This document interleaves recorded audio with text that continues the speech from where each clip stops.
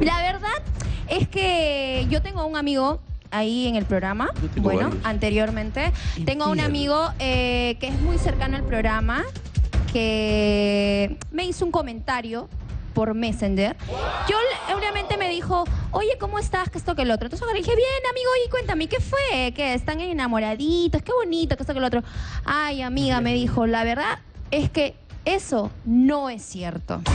Es, eh, eh, lo están manejando muy bien, lo están maniobrando muy bien, pero no es cierto. Entonces, eso fue lo que él me dijo y lo estoy compartiendo Ahora, en pero por estos lo que yo entiendo, lo que Feni me comenta es que Carloncho ya le estaría mandando indirectas a ella y ella reacciona a esto. Es no que ha sido que Carloncho tampoco.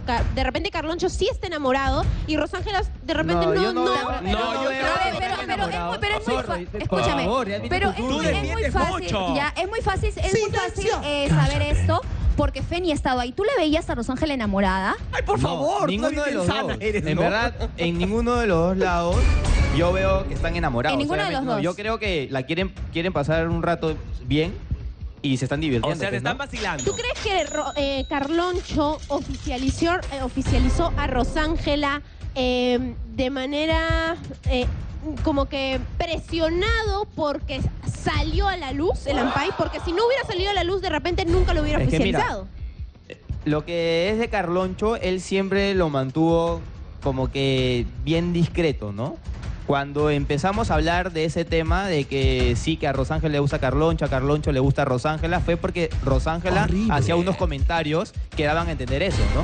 Por ejemplo, este, lo molestaba y Rosángela decía, sí, eh, yo tengo enamorado y Carloncho también tiene enamorada, ¿verdad, no, Carloncho? Y Tomate le decía, ¿y cómo está enamorado? ¿Tiene lentes? Y se reía y se quedaba pensando.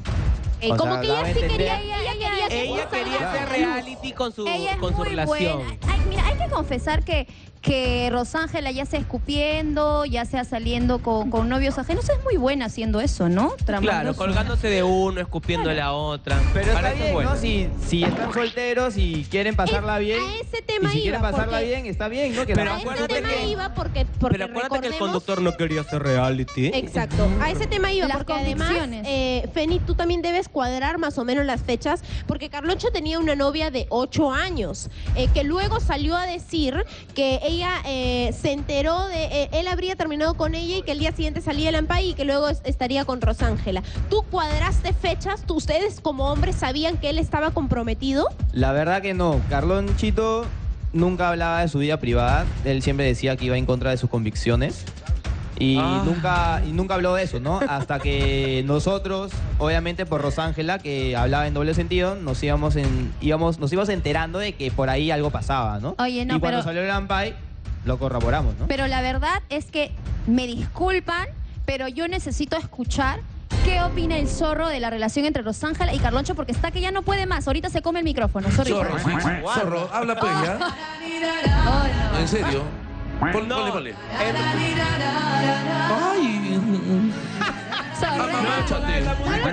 temprano. Que No, en realidad yo creo de que yo sí le creo a, a Carloncho. De que sí, pues definitivamente sí debe estar templado, le debe La gustar chica de mucho. los selfies. Sí, a él sí le creo, ¿ah? A él sí le creen A que él está sí le creo de templado, que sí. sí, claro. O sea, imagínate cuándo va a estar con una mujer así. Y a Y ella. a ella. Y a ella creo de que se está aprovechando de la situación para hacer algún tipo de marketing Ay, o, zorro. O poder ingresar al... Creo que el chiquito este Mayimbu tiene un reality los sábados todavía, ¿no? Carloncho. O sea, pero- que la- que la aventuras quiere- de Carlonchito y O sea que la quiere serruchar a Chris Soifer. Ah, Sí. algo así.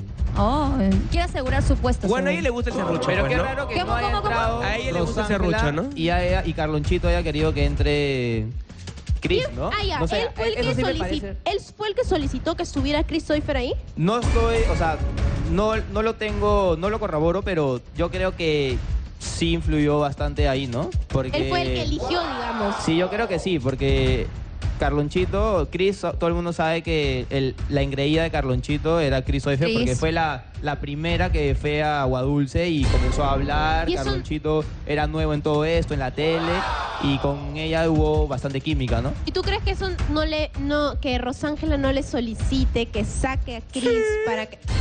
¿Crees zorro, que sea que sí. capaz, Sí, zorro? ella es capaz de todo, y tú lo sabes. Yo creo que sí, pero creo que la gente eh, quiere un poquito más a Chris Soifer que a Rosángela y obviamente con eso uno no puede jugar, ¿no? Ya, el comportamiento de Rosángela dentro del reality con ustedes, más allá de lo de Carloncho, con ustedes, ¿había un ambiente bonito de trabajo, amistad, Sí, cuéntanos. lealtad? Cuéntanos, ese- Penny, No lo sé, porque ¿Tú yo no no quieres estaba hablar, ahí. este, No, pero zorro? cuéntanos, quiero, quiero Cuéntanos, saber cómo, Fede. Habla, pues, cómo- oye. cómo era.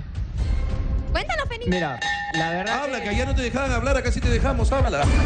Ayer no te dejaron ni que te despidan, acá te Allá vamos le a dejar hacer apagaban hasta el cherry. micro, allá le apagaban el micro. Me. Mira, la verdad que el clima con algunos competidores entre nosotros sí era bueno. No era en general con todos, pero con la gran mayoría en competidores sí.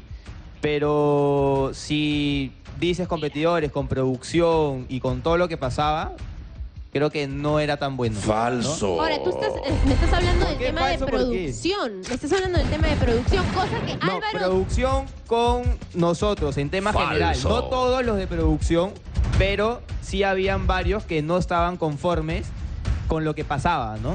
Con lo que pasaba Ah, ahí. pero de eso no era repente, una por decirlo así, novedad, le ¿ah? daban más cámara de repente a Majin Buu o iban a la playa. Sí, pero ahí no estaban mucha, gente, conformes. mucha gente puede pensar que ustedes le tienen cólera a Majin Buu porque lo ponchan más a él que a ustedes. Es que ocupa más la verdad, cámara, pues. la- mira, la verdad que ahí sí estaban varios inconformes, pero en particular lo que es conmigo, yo dije, un- yo lo dije en el programa, eh, hay un productor general, si es que quieren, te van a ponchar, si es que quieren, te van a utilizar o no. Lo que sí me incomodó fue que el último día no nos dejaran despedirnos de todos nuestros fans. Eso sí me incomodó. Bueno, como no te dejaron despedirte de todos tus fans, Ahora sí. ahora sí sí. puedes despedirte en Y puedes general. hacer tu cherry.